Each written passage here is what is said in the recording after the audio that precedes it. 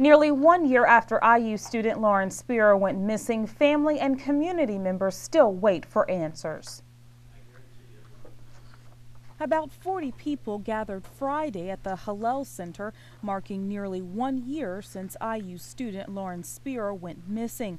Rabbi Sue pleaded for those who know anything about the case to come forward and give the family closure and peace. There is someone somewhere right now that knows something and could choose to help us find Lauren.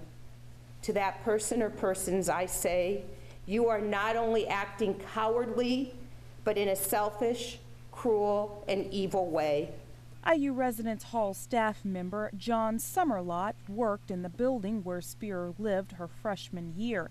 He felt his military skills could assist in the unsuccessful searches. But I, I felt compelled to, to go out and look for her.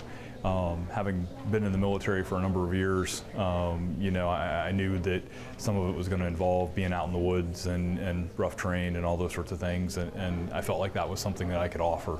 The Bloomington Police Department has received more than 2,600 tips on the case, but so far haven't named any suspects.